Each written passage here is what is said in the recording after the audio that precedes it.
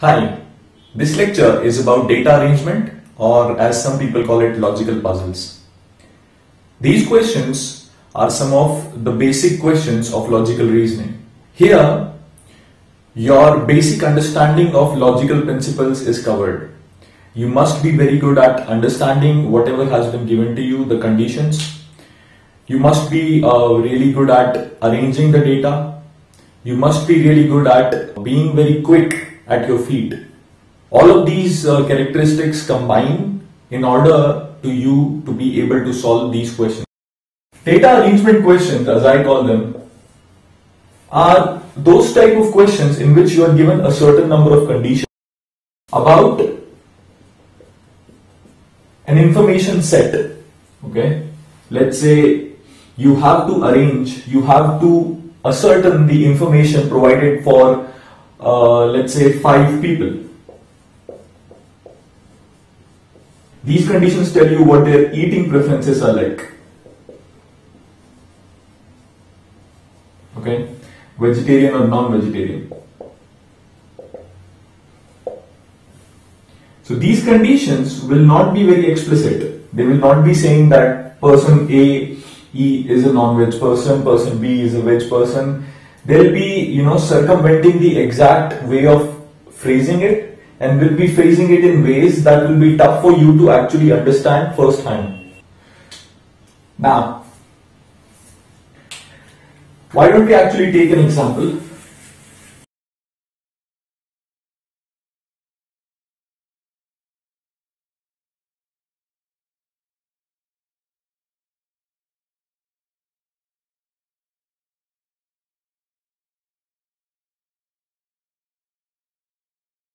Right, so let's solve this. We have four friends, let's call them A, B, C, D.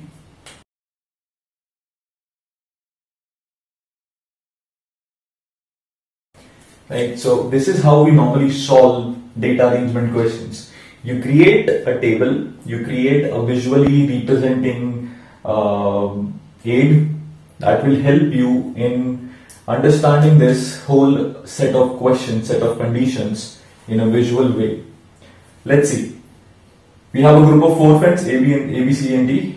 Uh, we have all these sports that they might like. What do the conditions say? We say that two like playing golf. Let's assume that A and B like playing golf. Then it is clear that C and D don't like it. Other two like playing hockey. Now we know that other two like playing hockey. So A and B don't like it. C and D like it.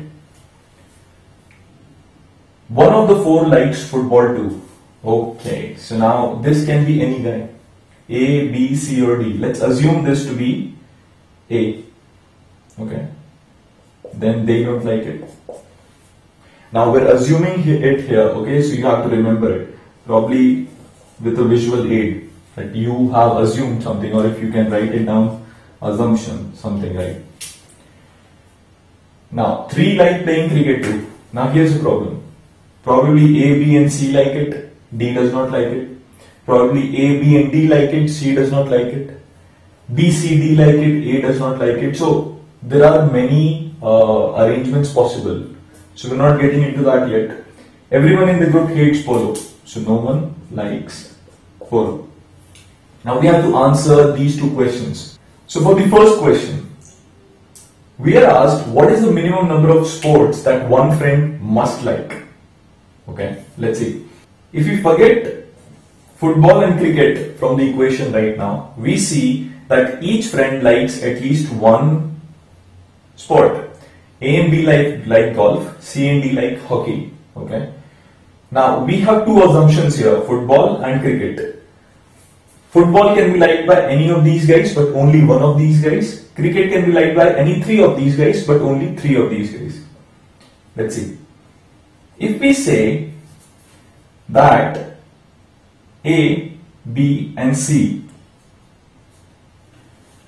like cricket and D does not like cricket, then we can see that D is the person who likes the minimum number of sports, that is only one. Right? This is a possible case. There are many cases possible. So what you have to do is Understand in your mind, is there any other case possible in which someone can like less than one number of sports? I don't think so. You definitely have one sport being liked by each of the friends. These two conditions are final. Okay. So you cannot have one person who does not like any sports, zero sports. So the minimum number of sports that one person can like will be one. You can change the uh, person who likes these sports and probably you'll still have one person who will be liking only one sport. So your answer becomes here one sport. The minimum number of sports is one that one friend must like. Now, maximum number of sports that any one friend can like.